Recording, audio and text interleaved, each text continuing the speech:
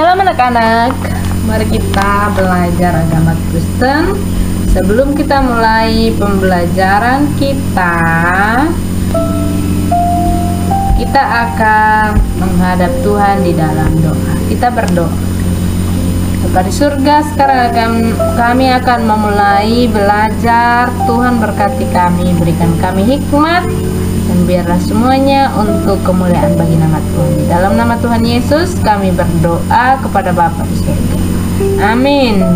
Nah, buka buku anak-anak di halaman 60. 60 di buku jamrutnya. Nah, anak-anak, materi kita yang ketujuh Allah pencipta keragaman fauna. Nah, sebelumnya kita sudah belajar tentang keberagaman flora. Flora itu adalah dunia binatang. Nah, dan sekarang kita akan belajar Allah pencipta keberagaman fauna. Nah, tujuan pembelajaran kita adalah yang pertama. Ya, yang pertama bersyukur atas keberagaman fauna. Yang kedua, bertanggung jawab memelihara fauna dan yang ketiga, kepedulian dalam memelihara fauna. Nah, anak-anak, kita adalah manusia yang diciptakan oleh Tuhan segambar dan serupa manusia yang istimewa sebagai ciptaan yang mulia dibandingkan dengan ciptaan lain. Manusia adalah makhluk yang diberi tanggung jawab oleh manusia ya.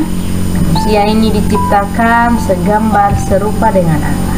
Manusia diberi tanggung jawab untuk menjaga, merawat dan mengelola alam ciptaan beserta dengan binatang-binatang yang hidup di air dan di darat.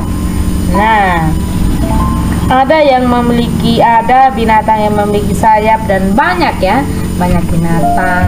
Binatang bermacam-macam. Nah, fauna ini misi yang sudah jelaskan dunia hewan. Dan hewan ini Tuhan ciptakan bermacam-macam, beragam dan banyak sekali hewan.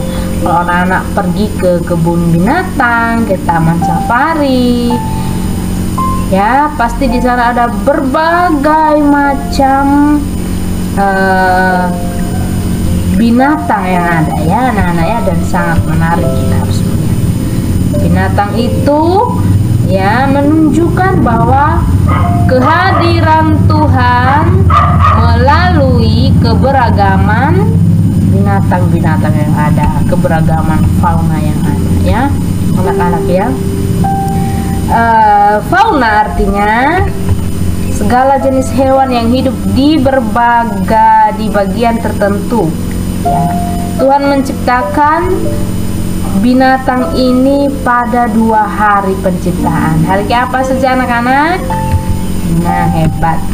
Hari kelima dan hari ke enam. Hari kelima Tuhan menciptakan binatang yang hidup di air dan binatang yang hidup di darat dan yang kedua, hari ke-6 itu adalah binatang yang hidup di darat yang berkaki empat atau binatang melata ya Tuhan ciptakan itu.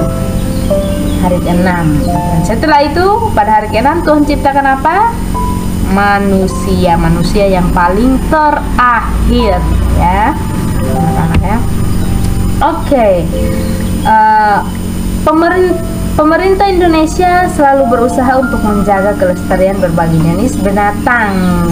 Ya, nama tempatnya apa, Nana? Suaka Marga Satwa, tempat untuk melindungi berbagai jenis binatang. Ya.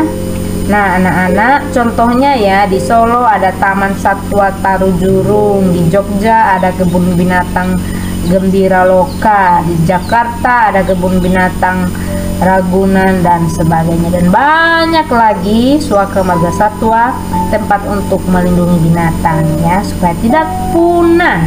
Nah, binatang membutuhkan makanan untuk melangsungkan hidupnya sebagai sebagian besar binatang makan tumbuh-tumbuhan. Ya kan anak-anaknya? Hewan pemakan rumput apa aja? Bisa kambing, lembu, kuda, domba, rusa dan berbagai lagi ya. Sapi, kuda, Nah, kalau biji-bijian ayam dan burung. Kalau pemakan sayuran kelinci, makanannya kangkung dan wortel dan lain sebagainya. Semua yang diciptakan Tuhan boleh dimakan. Ya. Semua yang diciptakan Tuhan boleh dimakan dan selama bermanfaat bagi tubuh manusia. Ya. Misalnya binatang dapat digunakan sebagai bahan pangan karena mengandung protein hewani. Protein hewani adalah protein yang dapat di yang dapat dari binatang yang diperlukan oleh tubuh kita. Nah, anak-anak, binatang juga memiliki manfaat yang lain bagi manusia. Contohnya apa?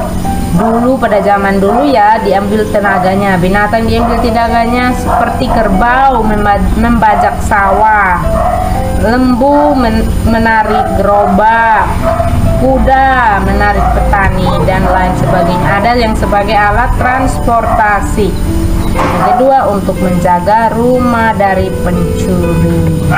Nah karena sumber makanan manusia adalah tumbuhan dan binatang maka manusia harus mengusahakannya untuk apa? Untuk meningkatkan bidang pertanian supaya semakin banyak ya. Yang kedua, bidang peternakan dan bidang perikanan. Ya, yang ketiga, penanggulangan penyakit pada hewan dan hama pada tumbuhan. Jadi anak-anak, sumber makanan manusia yang berupa tumbuhan dan harus dijaga. Jadi dapat kita simpulkan dalam kitab Mazmur 36 ya, Mazmur 36 sebagai manusia ciptaan Tuhan yang istimewa kita harus bersyukur dengan semua yang Tuhan sudah ciptakan bagi manusia dengan cara menjaga, pelihara dan mengelola alam ini dengan baik. Nah, dalam kitab Mazmur 36 juga Raja Daud bersyukur kepada Tuhan karena Tuhan telah menyelamatkan manusia dan binatang.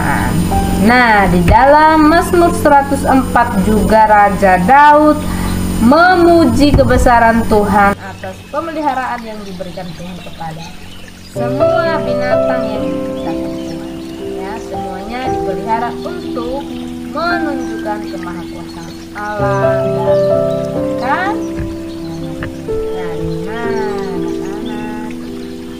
sudah belajar tentang binatang, mari kita menghadap Tuhan dalam doa.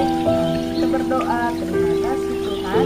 Nah, kami sudah belajar agama Kristen Tuhan